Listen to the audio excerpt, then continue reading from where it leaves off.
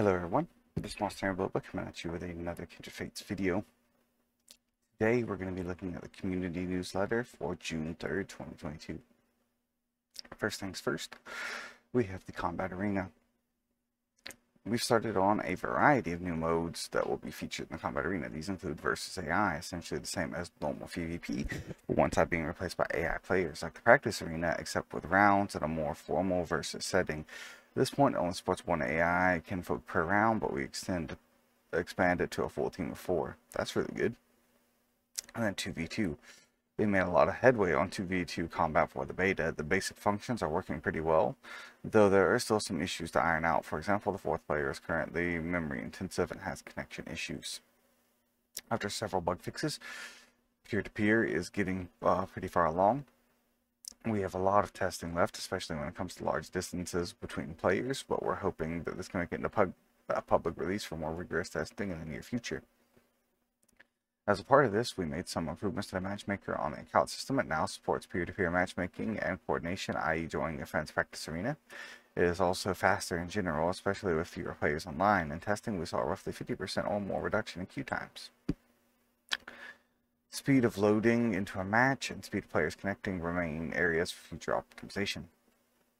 As a reminder, peer-to-peer -peer is something we feel must be used for single-player co-op experience, so while we're hopeful that it can be get to the quality and responsiveness it's ready for using it in combat arenas, either way it will be helpful to again test for it for a single-player use case.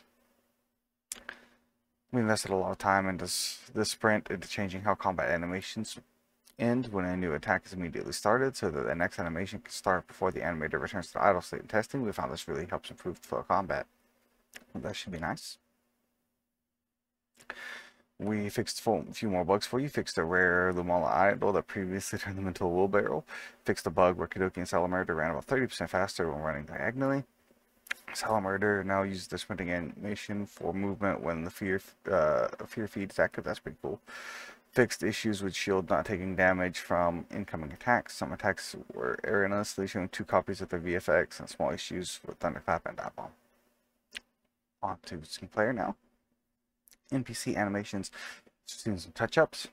We've completed work on smoothing out NPC motion like we showcased last month. Not only does this affect their starting and stopping, it also affects big changes in direction. We've added the ability for NPCs to use our head look animator. No NPCs currently have this toggled, but we hope to add this in the future in several situations to breathe more life into them. We began work on breaking up the world's nav mesh into smaller pieces that can be loaded slash unloaded as the player moves around the world. This will allow us to add several improvements to our nav mesh.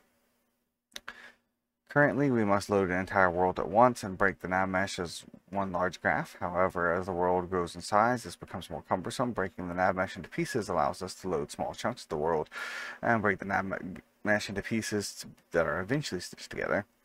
This also means that we, as we update terrain, we can rebake the nav mesh for only the terrain that has changed instead of rebaking the single nav mesh for the entire world.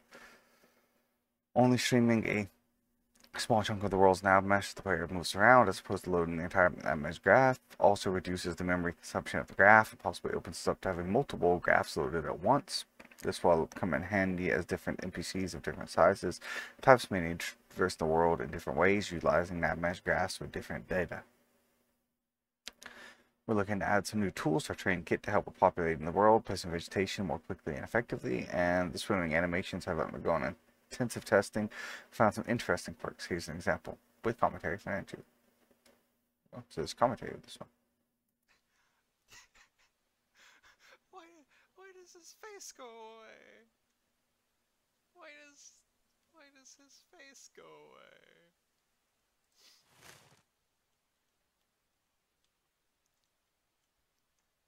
That's Cookie just looking all all happy and then Yep, his face just disappears when he goes into water. Yeah, I'd be upset too, buddy.